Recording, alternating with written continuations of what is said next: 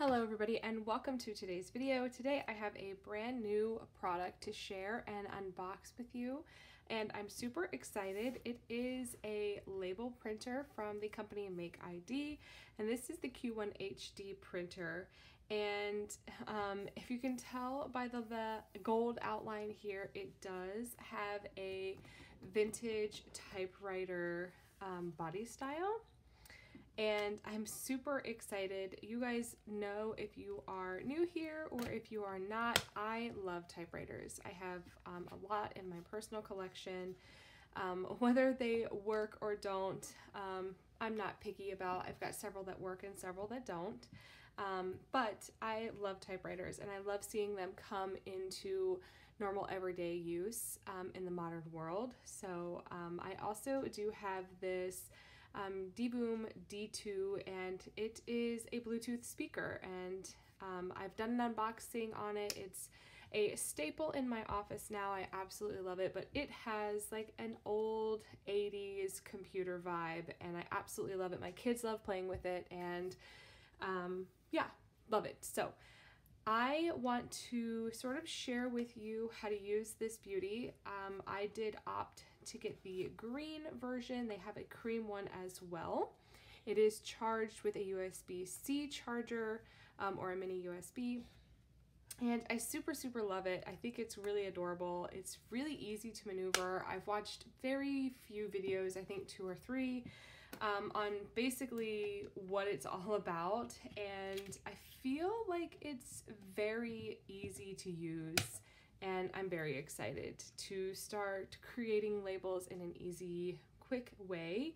I do have the Phomemo printer from several years back and um, it could do a lot as well. I just, I didn't connect with it right away. Um, but I do have this one and let's go ahead and get started.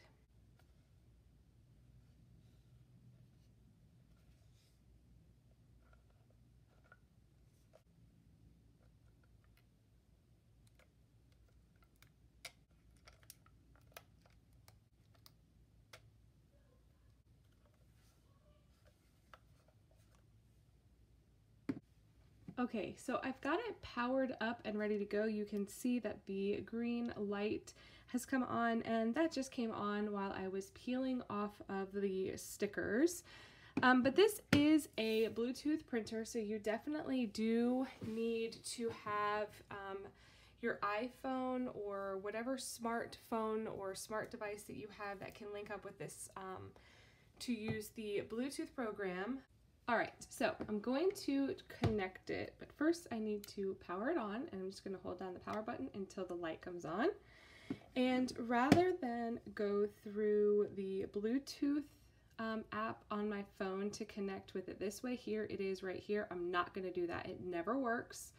I don't know why, but I'm gonna go in through here and I'm gonna tap it up here and it just automatically did it. I didn't have to work for it and if I go into my Bluetooth, it will show that it's already connected. If I try to do it this way, it never works. It will always say it's not supported. I don't know why. Um, but if I do it through the app to make the connection, it just does it automatically. So I have already done this and I did already choose um, how I wanted my date sort of to be um, because there's a date button down here, but I'm just gonna reselect it. I cleared everything out so that I could do this for the video. And I like this. This is the American layout, month, day, year. So I'm going to um, have that automatically be how the date is printed. Okay, so now that I have got it connected, I have chosen the way I want my date to print. I need to make the um, paper ready for print. So um, basically you just pull it out, pull it past a certain point, I do believe, um, and then you definitely want to make sure that you have it facing out so that the roll looks like this. You want the clear shiny side facing out. Sorry, I'm not getting a glare because the sun is just like perfectly gone, but um, you want the doll split tape part on the back side. I'm just going to pull it through so that there is some paper hanging out. Close it and then I'm going to use the lever here to cut it. There we go.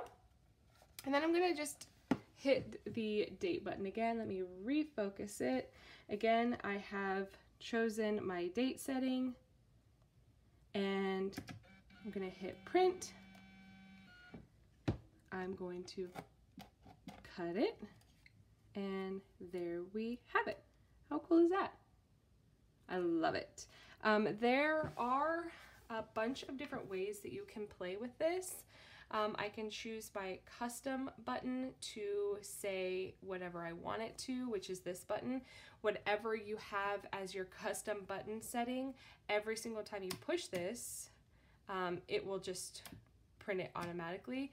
I don't have anything set up for it yet, so let's go ahead and play with the app and see if we can't figure it out. I want to choose a frame, so we'll go with this one. It looks like a piece of ripped tape. I'm going to make it longer and then I am going to go in and see if I can't find a an appropriate sticker. Oh my gosh, she's so cute. Look, and they have so many different cute options.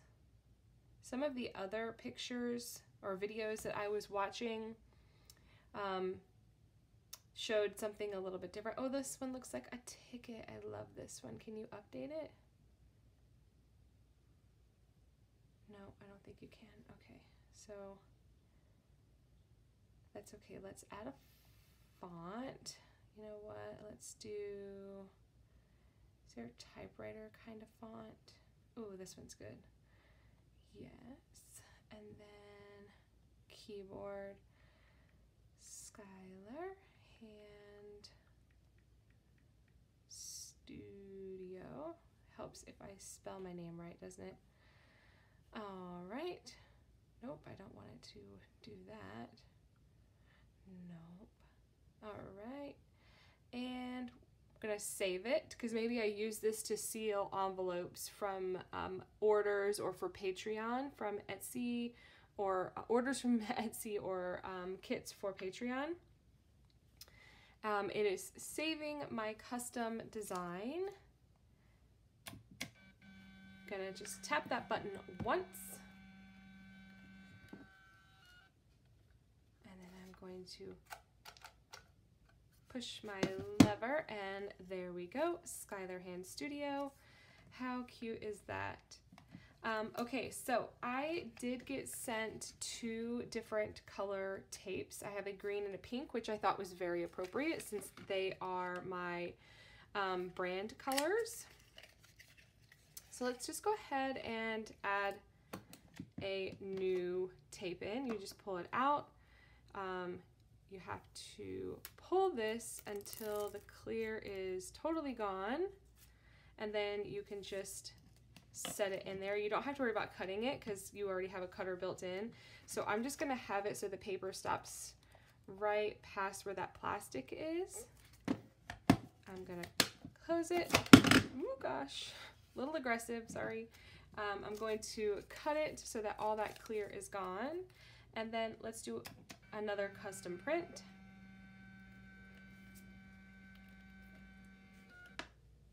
Cut it. Ooh, I love that. Okay, so let's add the pink in because I did get pink sent as well. Sorry if you can hear the helicopter flying over.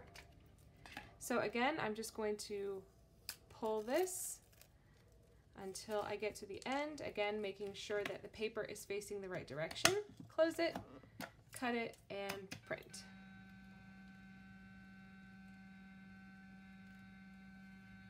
I'm going to have it print the date as well, and then I'll cut it. Oh, I love those colors. Look how good those look together. Oof, I love it. And I'm gonna actually even use this in my journal for today. Um, and then I'm going to put these two on the journals that I have already.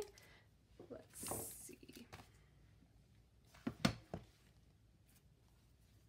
So I have clear green or pink. I think the pink stands off of the page really good. Like so. There. Look how good it looks. I think that's so cute. And then I can save this for my journal for later. Um, another fun aspect to this, wonder if that fits there. Almost. You can also do the continuous label or so there's two different kinds of label tape. You can do the gap label, which is a label up to a certain point, like it's a certain size, but I have just continuous label paper, so um, I don't have to worry about that. Uh, but I definitely want to play with the app a little bit more to see about like what all it can do. So it's got a bunch of like pre-done labels. I think that's so cool. I think this is really, really going to make things easier. I like the compactness of it. And I wish I could explain why I didn't connect with my Phomemo printer in the same way, but I didn't. I, I don't know if it's aesthetic or ease of use or what, but the box does come with some pretty um, at a glance, easy to understand instructions. It also comes with your charging cord. And again, I said it's a USB-C, so it's a mini USB and a regular USB at the other side to charge, which is nice. And then it does come with the entire user manual in several languages so that you can figure out how to use your device as easily as possible. The entire box is filled with this very thick foam to ensure safety for the device during shipment, which I have to say I was pretty impressed by. Even the top right here has a thick coat or layer um, foam on the roof or ceiling top of the box and then again thick cardboard around the edge to keep it stable and supported um, so I definitely appreciate that side of things that they thought about how to make um, the product as safe as possible during shipment.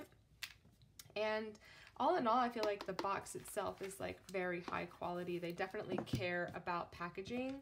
Um, I did charge this when I very, very first got it, before I played with it, before I did anything, I charged it just to make sure that I would be able to use it on camera.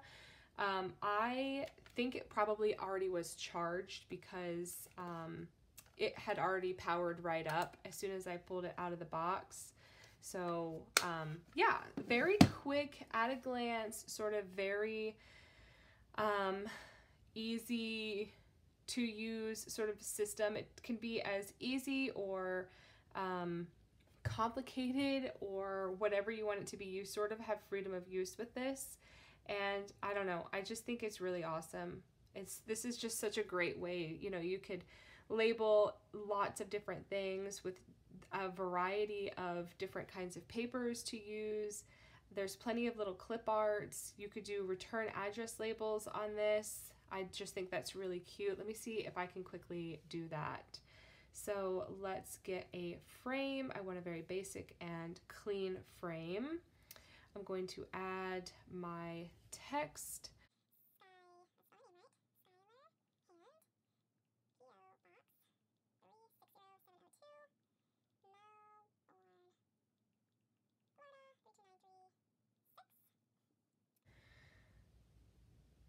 We'll center it and let's see.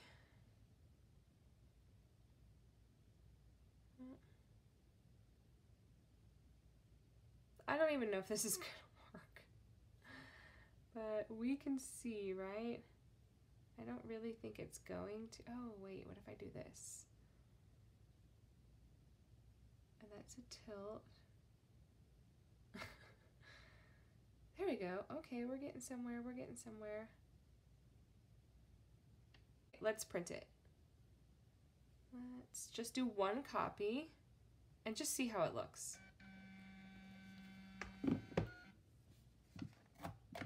Oh my gosh, look how teeny. Oh, it's so cute. It's totally doable. I love that. It's definitely not perfect, but I don't seek perfection. So love this. Gonna use it, gonna save it. I think this is great.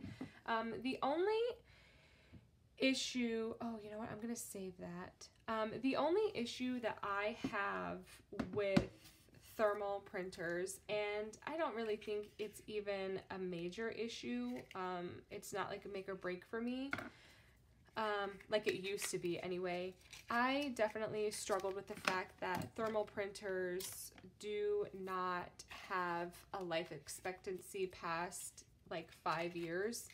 Um, some thermal printer paper advertises that it can last up to 20 years, but a lot of the work I do is for archive purposes. Um, and I just want to make sure that the things that I'm printing and using this on, that it's going to last for as long as the recipient or I need to use it for. Now, I know it's easy if I'm just doing it for myself, I can just reprint something. Um, but if I'm using it for decorative purposes, like in my journal um, or um, on a letter or an envelope, if it gets too hot in transit, it could make all of that text disappear. Um, we don't know the kind of standards that our mail um, is being put through as far as being put on planes or ships or trains or whatever else and whatever kind of conditions that they are going to endure during their travels. And I definitely worry about that for sure. Um, so I think that's my only issue with thermal printers, but I haven't thrown it through the ringer. I haven't like super tested it out. So I don't really know really what its capabilities are in today's world, but it's a real thing. Um, it's a problem. If you've ever left your receipt in your purse for too long and you left your purse in the car or you left a receipt in your car and you go to check on it, it's just white paper. Um, and that's definitely what can happen with this as well. Okay, see, you can, you can see, I mean, this is a torch, granted, so I'm putting it through extreme um, testing here, but you can see that the image did go away. I wish I had my heat gun, my heat tool, I could really test it. Let's pause there and see if I can go get that. All right, I've got my heat gun. You can see I definitely use this thing like crazy. It um, got off kilter um, like this and I didn't realize and I burnt it. But for the sake of the video, I have a heat gun. Let's test it.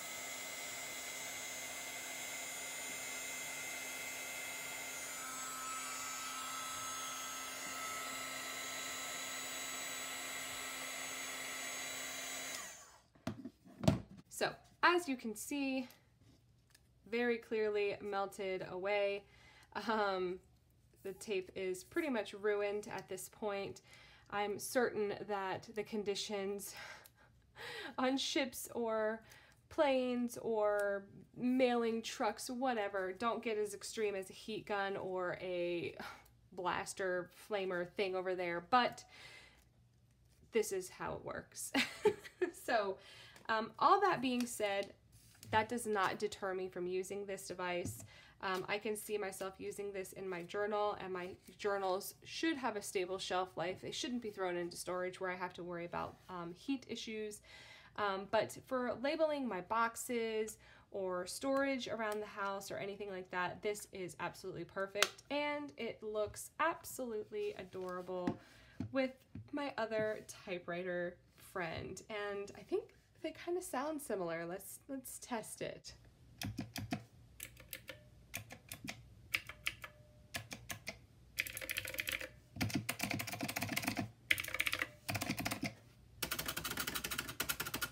Ooh, so satisfying, right? Um, okay, so that is it for me today. I um, super appreciate you guys watching this video. I hope that it was mostly informative and that you guys have gotten an idea for another thermal printer out there if you're looking for something small and compact. I haven't noticed any real issues that make me concerned about the product in any way. Um, and I'm super excited to have it. Thank you so much to MakeID for reaching out to me and asking if I wanted to test this product.